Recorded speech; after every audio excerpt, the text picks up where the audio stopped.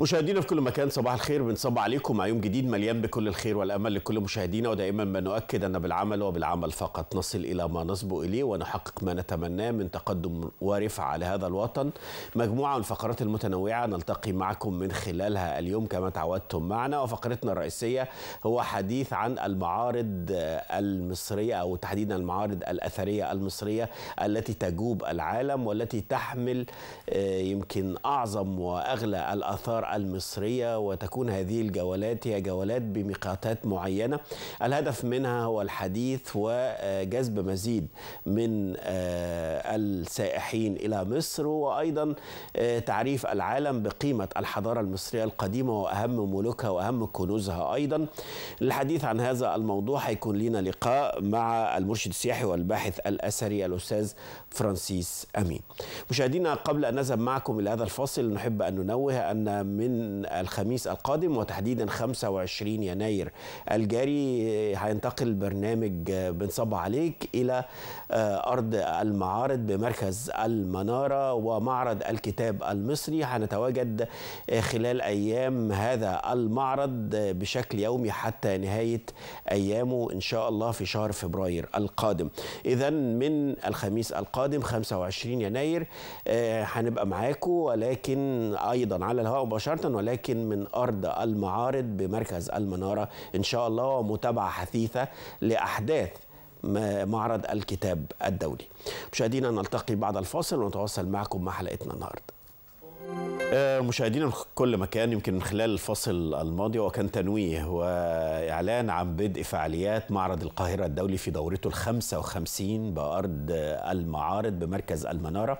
متابعة حثيثة إن شاء الله من كل المصريين لهذا الحدث الثقافي الكبير ودعوة لكل المصريين أيضا لحدوثه. وبنكرر أن تواجد برنامج بنصب عليك من يوم الخميس القادم 25 يناير حتى السادس من فبراير من الشهر القادم. هيكون متواجدين معاكم على الهواء مباشرة ومتابعة لفعاليات هذا المعرض من خلال برنامجكم. بنصب عليك إن شاء الله من يوم الخميس القادم.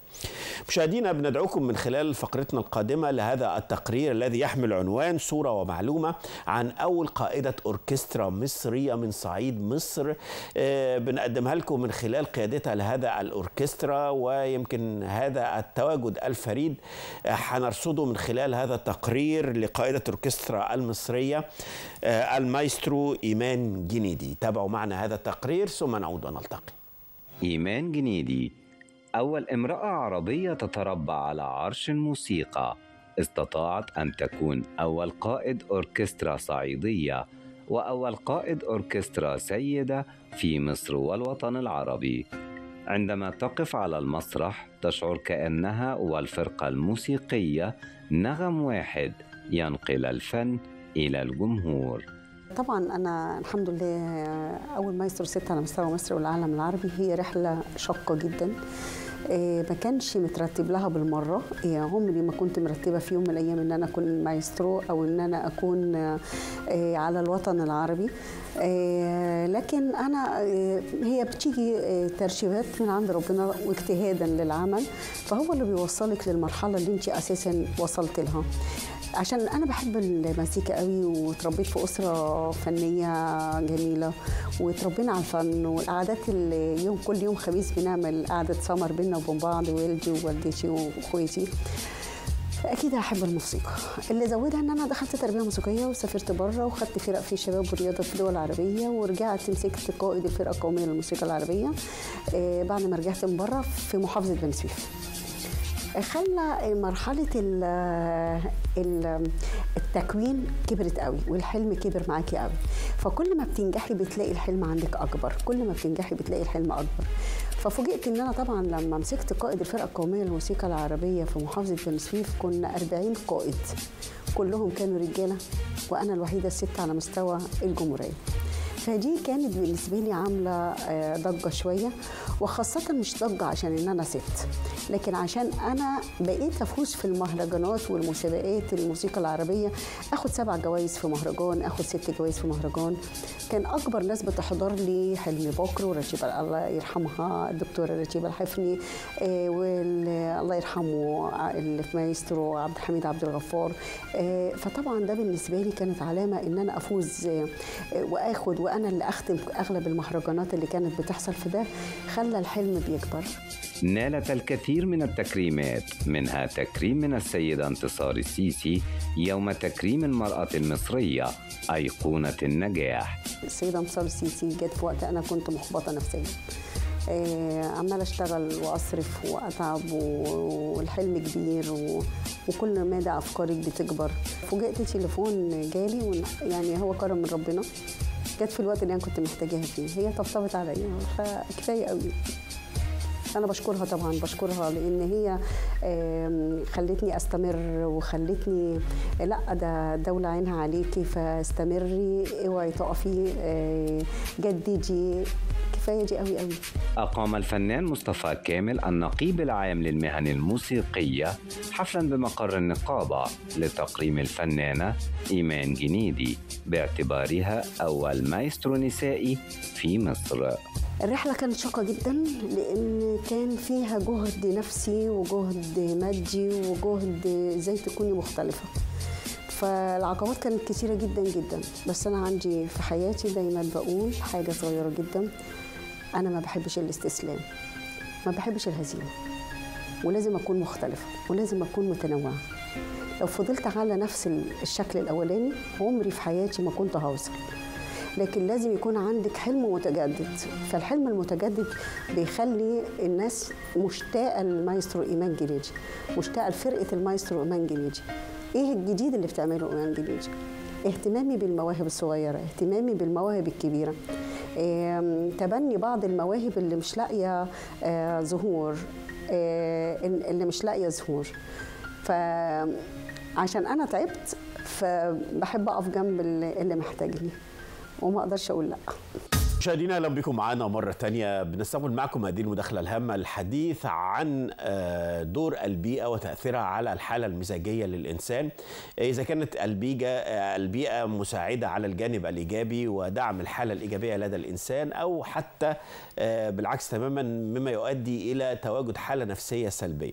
معنا على الهاتف الدكتور عاصم عبد المجيد أستاذ علم النفس التربوي المساعد بجامعة القاهرة. دكتور عاصم أهلا بحضرتك. أهلا بحضرتك صباح الخير يا فندم. لحضرتك ولكل الساده المشاهدين. كل سنه وحضرتك طيب آه بداية إحنا عايزين نتكلم عن البيئة وتأثيرها. البيئة بشكل عام لو ليها تعريف وإزاي بتأثر على الحالة المزاجية للإنسان. طيب هو طبعا البيئة لو إحنا بنتكلم عن البيئة فإحنا في عندنا البيئة طبعا المادية وهي كل ما يحيط طبعا بال- بالإنسان. الحاجات الطبيعية والحاجات اللي الإنسان آه، صنعها كل ما هو موجود في محيط الإنسان آه، بشكل مادي ملموس وعندنا بقى آه، بما إننا بقى متخصصين في الجانب السيكولوجي يعني فإحنا عندنا البيئة أو المناخ مثلا الأسري أو البيئة الاجتماعية والنفسية اللي الفرد بيعيش فيها. آه، ده ببساطة تعريف ال- البيئة. طبعا زي ما حضرتك تفضلت وأشرت التأثيرات للبيئة والمناظر الطبيعية والاماكن المفتوحة آه، لا تقتصر فقط على آه، تنمية ال- ال- الجوانب الإيجابية عند الإنسان وإنما أيضا بتخلصه من الكثير من المشاكل السلبية آه، اللي ممكن تؤثر على حالته النفسية وعلى حالته ال- ال- ال- الجسمانية. يعني لو إحنا بنتكلم مثلا عن الضغوط النفسية اللي بتواجه الأفراد فدايما بنقول للناس إن أنتوا لازم تخرجوا للأماكن المفتوحة ولازم يكون آه، في آه، يعني مشاهدة للمناظر الطبيعية ال- ال- البيئية.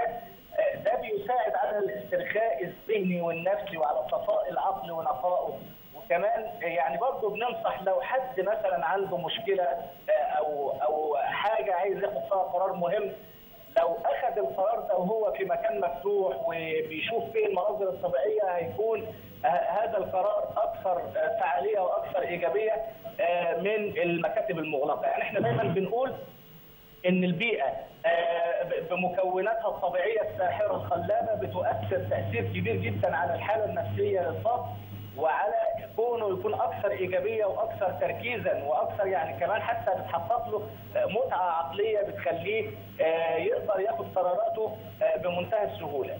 ده إذا كنا بنتكلم عن تأثير البيئة على ال- التخلص من المشاكل السلبية زي الضغوط النفسية وغيرها والقلق والاكتئاب والتوتر إلى آخره.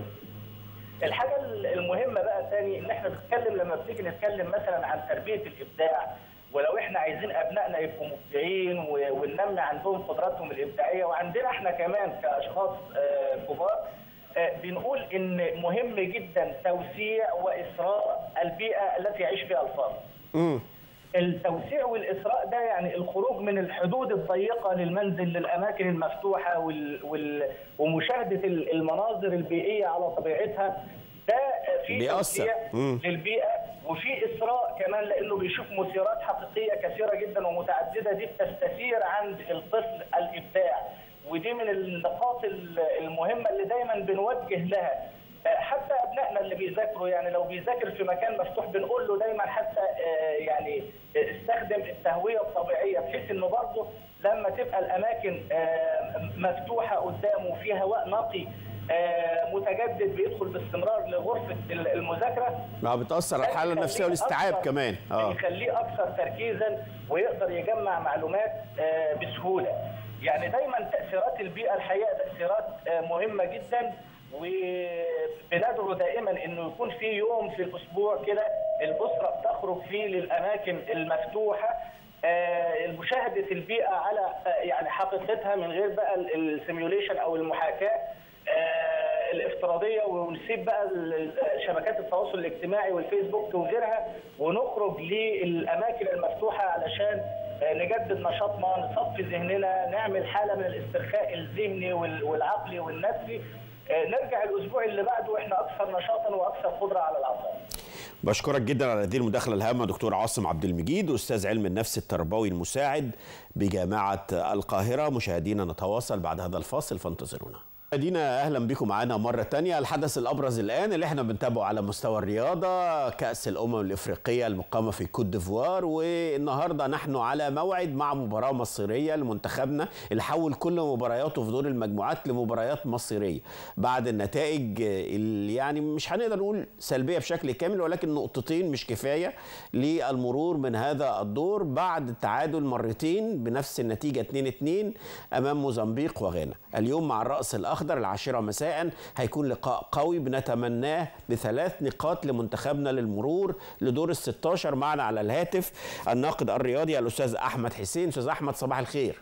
صباح الفل عليكم وعلى الساده المشاهدين طبعا المقدمة بتاعتي وضحت الوضع بتاع منتخبنا في هذه المباراة خاصة مع آه، الموقف اللي كلنا تابعناه من آه، مغادرة محمد صلاح لكوت ديفوار وذهابه بعد هذه المباراة لليفربول إنجلترا للعلاج آه، يعني لو دمجنا بقى الموقف ده مع استعدادات المنتخب تأثيراته إيجابياته سلبياته ولا يعني الشكل هيكون إيه في مباراة اليوم أمام الرأس الأخضر؟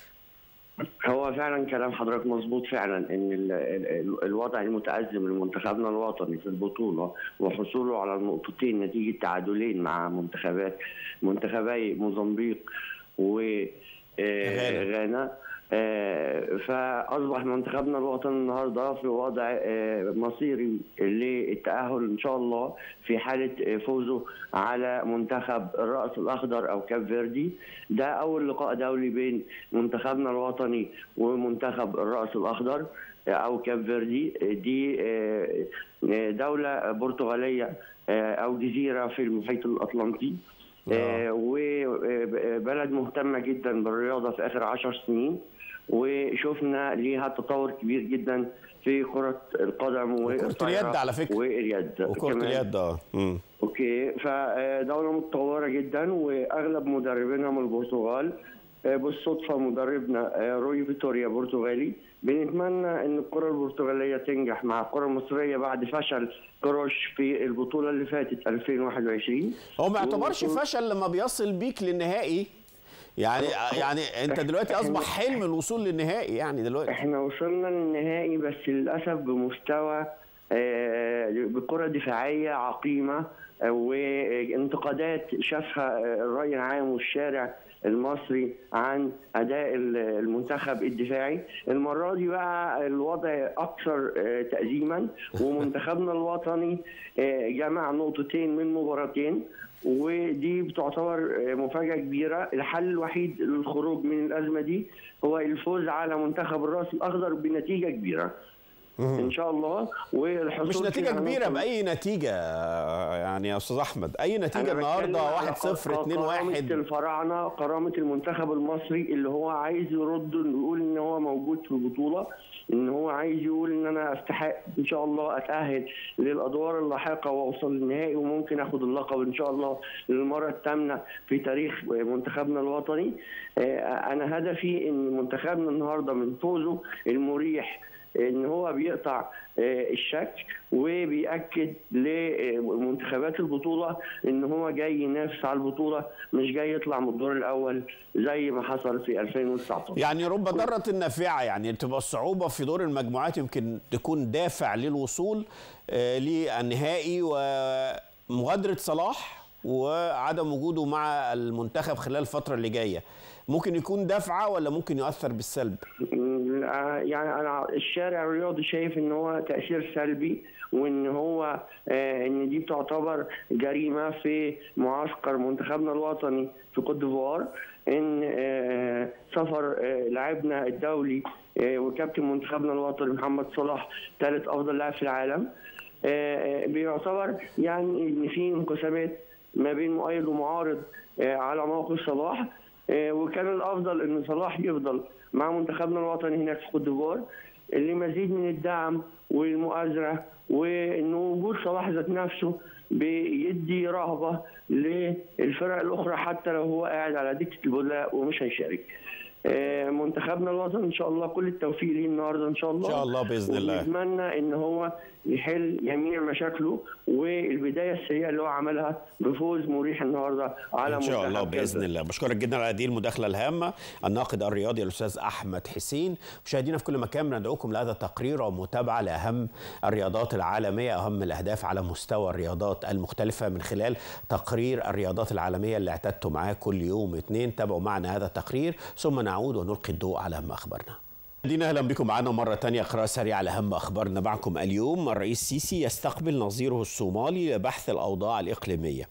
استقبل الرئيس عبد الفتاح السيسي أمس بقصر الاتحادية حسن شيخ محمود رئيس جمهورية الصومال الشقيقة حيث عقد مباحثات بشأن سبل تعزيز العلاقات الثنائية والأوضاع الإقليمية.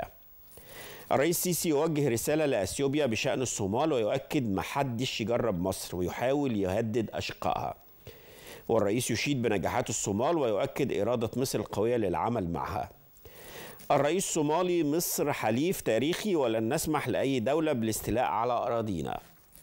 وزير السياحة مصر سجلت 3.6 من عشرة مليون سائح خلال الربع الأخير من عام 2023 وزير السياحة حزمة من الحوافز لصناعة السياحة سيتم إعلانها خلال عشرة أيام.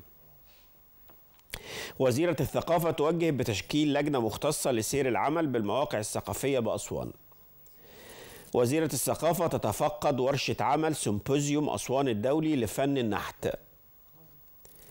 البنك المركزي تعطيل العمل بالبنوك الخميس المقبل بمناسبة 25 يناير. وزارة العمل الخميس المقبل إجازة للعاملين بالقطاع الخاص مدفوعة الأجر. حماية المستهلك مصادرة 7.5 طن سكر و4500 علبة سجائر تم حجبها عن التداول. 24 يناير 2024 آخر أيام الفصل الدراسي الأول لطلاب المدارس. وزارة الأوقاف تنفي تقييد صلاة التراويح بوقت محدد خلال شهر رمضان. محمد صلاح منتخب مصر يضم أفضل 27 لاعبا ويتمنى زيادة المحترفين. اتحاد الكرة يرسل تقريرا مفصلا عن إصابة محمد صلاح لنادي ليفربول. المنتخب يختتم تدريباته لمواجهة حسم التأهل أمام كاب فيردي في أمم إفريقيا. أخيرا من أخبار الطقس معنا اليوم طقس الاثنين انخفاض بالحرارة وأمطار متفاوتة والعظمى بالقاهرة 20 والصغرى 15 الإسكندرية 20 14 مطروح 18 12 سوهاج 23 9 قنا 26 11 وأخيرا محافظة أسوان العظمى 17 والصغرى 12 مشاهدينا كانت إطلالة سريعة على اهم اخبارنا معكم اليوم. نلتقي بعد الفاصل ولقائنا مع المرشد السياحي والباحث الأثري الأستاذ فرانسيس أمين. نلتقي بعد الفاصل.